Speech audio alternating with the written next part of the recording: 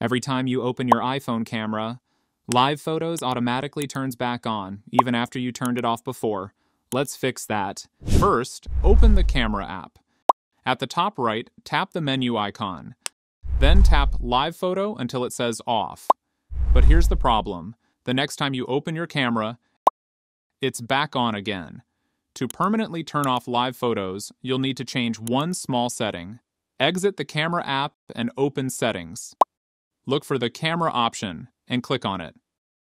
Now scroll down and select Preserve Settings. Here you'll see the option called Live Photo.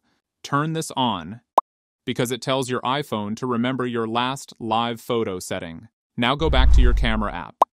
Turn live photo off one final time.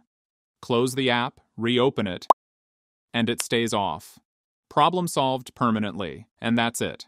Like and subscribe for more tech tips and tricks.